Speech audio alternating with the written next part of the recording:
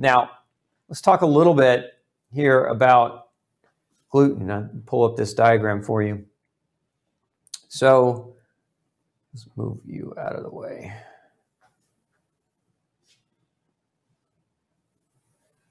So this diagram is just kind of a representation of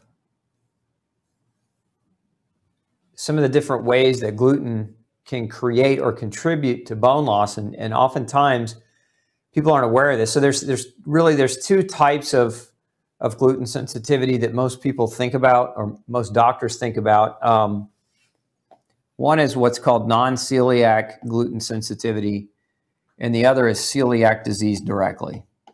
And so it's been very well established that individuals with celiac disease suffer greatly from malabsorption.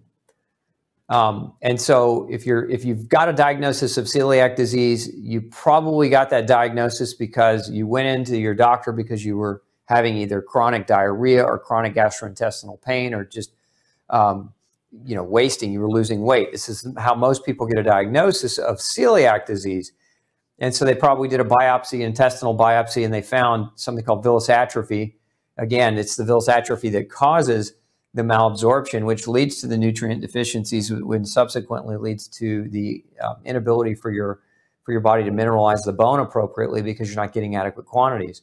So celiac disease largely studied, and, and we know directly that it's linked to malabsorption, but there's some new information that's come out recently, uh, published in New England Journal, showing that uh, people with celiac disease actually can produce antibodies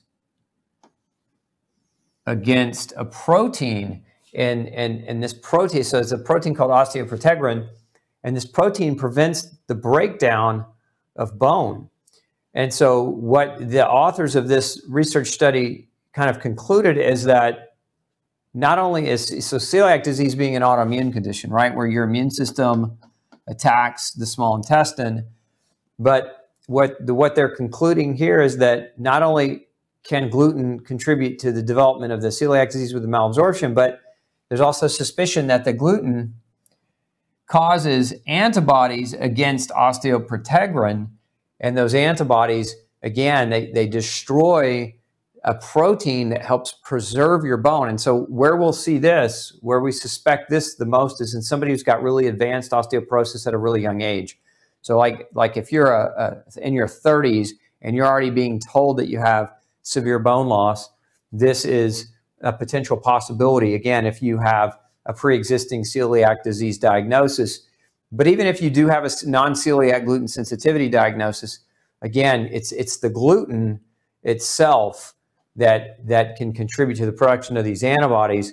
So you don't necessarily have to have celiac disease. So again, this is an autoimmune type of response, right? And so that's what this is referring to. So gluten sensitivity, immune reaction, leading to the antibody production again against osteoprotegerin, which then leads to the development of autoimmune disease, i.e., this bone loss that shows up. And generally, this is a more aggressive type earlier onset, whereas you know traditionally osteoporosis doesn't show up until somebody's you know in their sixth, seventh, eighth decade of life, where it's just not an early person's disease, but where we see advanced autoimmunity or early stage or early onset bone loss. This is something that you definitely want to consider. So maybe you've been told you've got bone loss, aggressive early bone loss, but nobody's ever measured you or tested you for gluten sensitivity or celiac disease. Very important takeaway here. So we know again that gluten creates malabsorption. It can create an immune response. It can also directly, it can cause inflammation. So,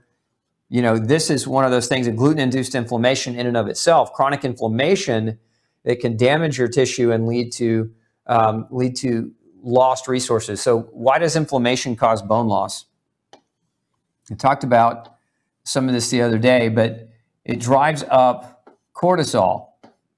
So, I really want this to make sense for you. So, it drives up cortisol. What did we say over here? We said steroids increase the loss of calcium, magnesium, vitamin D, and increase your blood sugar and secondarily to that actually increase the risk for the development of fractures, but are known to cause bone loss. The steroids, right? And when we're talking about steroids here, what kind of steroid are we talking about? We're talking about steroids. The steroids, the steroids of stress, which are produced by your adrenal glands.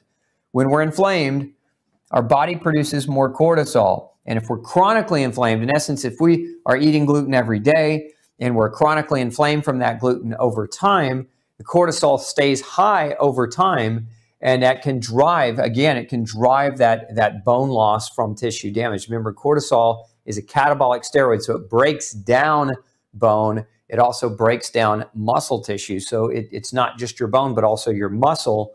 And that and that again when your muscle is breaking down muscle puts pressure on bone. And so again there's a law in physiology it's called wolff's law and Wolff's Law states that bone grows, the, the density of bone grows based on pressure.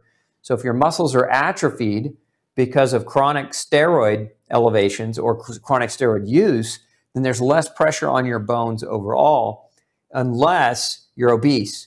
Now, if, if this is happening and you're obese, so a lot of people with gluten sensitivity are too thin, they can't put weight on.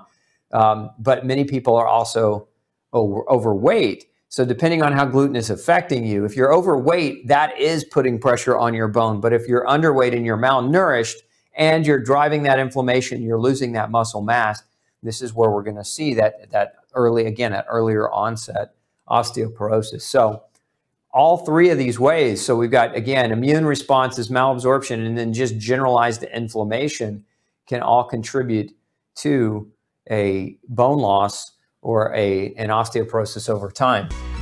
Hey, don't forget to check out the rest of the series right here. Make sure you hit subscribe below. And as always, thanks for tuning in.